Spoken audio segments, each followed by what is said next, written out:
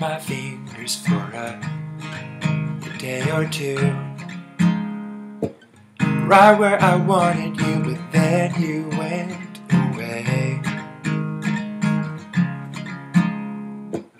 What happened to when you said forever? I could stare at that smile forever. I think that was a lie, cause you won't recognize my heartfelt reply. Saying, Oh darling, how's your day today? I wish I could see your lovely face tonight. Oh, tonight. Oh, darling, I know you've gone away. I seem to keep my mind with you along with the heart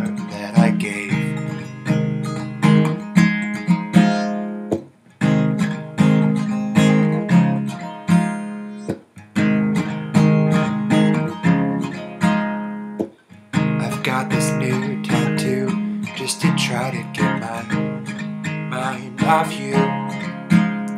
I had to do something extreme to try and brush you off. But here I am writing hopeless love songs. They seem to be the only thing to heal the pain of you. Oh, of, of losing you. Oh, darling, how's your day today?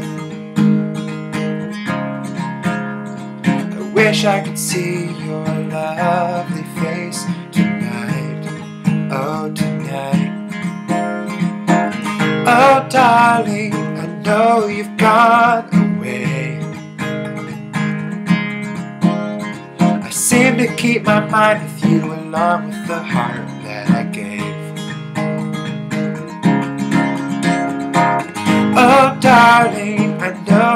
away. I seem to keep my mind with you along with the heart that I gave. I don't have time for that. What should I call that song? Let me know in the bottom below. It's just a very simple song. Like I just sat in my dorm room one night and I just came up with it, and I like it. It's simple and it's easy and it's it says what it needs to say. I have a new channel. It's called Treyjavu, and I have like weekly vlogs. So I'm not doing daily Trey anymore. Um, so subscribe to Treyjavu, and the link is down below.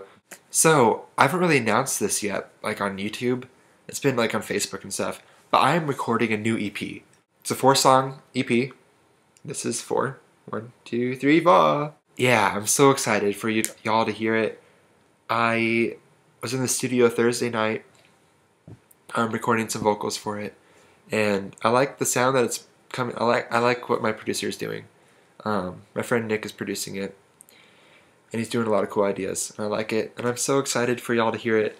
Um, my hopes are to have physical copies for sale, and then for to be on iTunes, and then probably some other websites. I have a song on there that you've never heard. It's called Eight Days, and I'm so it's my favorite song that I've written. I'm so excited for you to hear it. Oh my gosh, okay. Um oh. Eight Days and the song that I just wrote, just sang, are about the same person. Little known fact, but you don't know who it's about. Boom!